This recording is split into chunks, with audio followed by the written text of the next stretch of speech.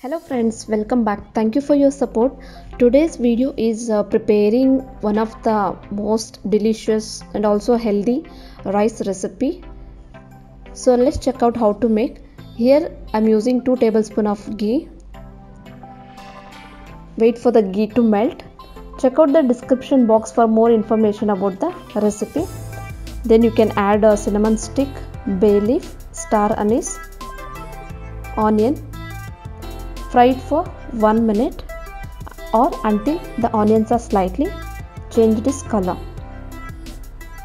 Friends if you are watching my videos for the first time don't forget to subscribe. So if you are the subscriber then don't forget to like the video and let us know your uh, feedback on the video. Don't forget to share the video with your friends and family members.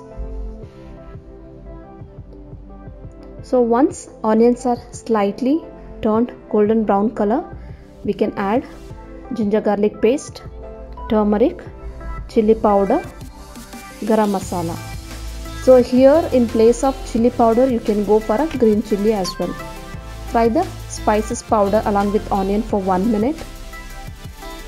You can use the medium flame. Then you can add fresh methi herbs or menthya soppu fry for another 1 minute since it is a herb it will shrink very fast. Then you can add tomatoes finely chopped one medium size salt for the tomato to cook. Mix it well. So let this mixture cook in a medium flame for another one more minute. Then you can close the lid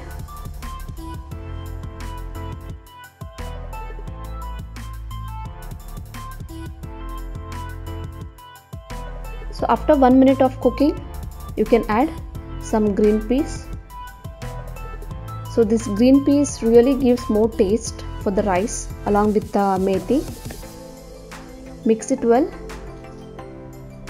Then you can cook for another 1 minute. Then you can see tomatoes are really become super soft. And also the oil is getting separated.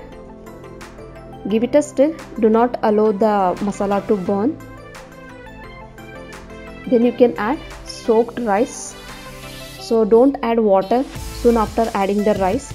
So fry this rice along with the spices or uh, green peas methi and also other uh, spices masalas. So let this fry for another one minute. Then the rice will become really super tasty and also non-sticky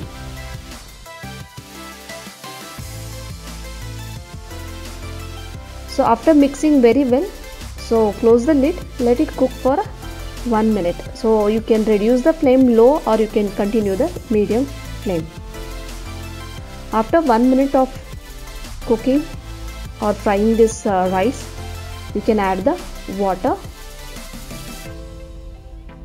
For the ingredient list please check out the description box. You can add the sufficient salt some fresh coriander leaf mix very well. To get non-sticky rice you can keep water little less while cooking the rice. So let it cook for 5 to 7 minutes. So once the rice is uh, getting cooked and water is getting dry you can reduce the flame medium to low. See this is what the rice looks like once the water is dried. Now you can reduce the flame completely to low. Then you can close the lid. Let the rice rest it for another 10 minutes.